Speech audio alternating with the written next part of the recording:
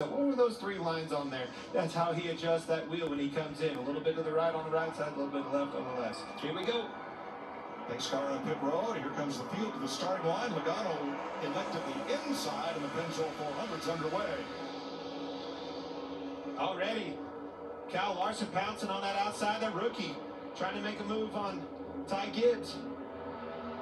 He's got Ross Chastain behind him up high, Kyle Larson, so he knows if he pulls out a line, he's got someone that's going to go with him. And he does. a big time push right to the back bumper of his teammate, William Byron. Love this place. Look at the three wide action all the way back. 24 is almost clear, but he's three behind you. Logano leads lap one.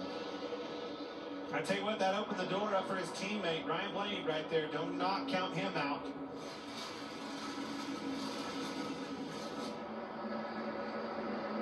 He wanted up right there. Tried to. Spotty said no chance. Outside. Here comes William Byron.